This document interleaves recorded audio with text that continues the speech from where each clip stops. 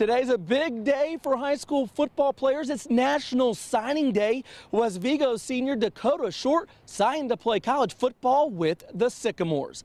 Indiana State is getting a young man who's been a four-year starter for the Vikings. Short holds school records for most career tackles and tackles for a loss. This past season, he was named an Associated Press 3A All-State player.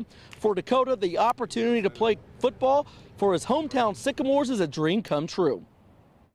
That's where I always wanted to go to school. It's always been close to home, and uh, the coaching staff really likes the coaching staff a lot. And um, I got a cousin that plays on the team too, Solly Lowe, so it'll be cool playing with him for a year. Congrats to Dakota on signing with ISU and